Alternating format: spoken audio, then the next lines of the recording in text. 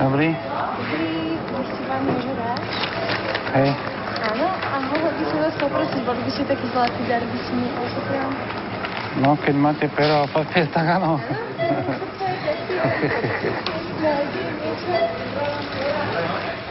Citróny sú ešte moje, áno. Áno, to mi tu zostalo nejak. Prepačte. Prepačte.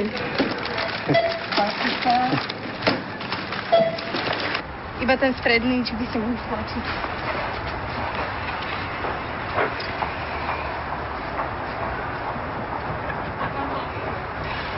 Jak to, že to nefunguje? Nie, to nenky. Počkajte. Aha, jasne. Bože môj, ja som teraz z toho taká vyklepaná. Dobre, Vysmejú. úsmev. Sír.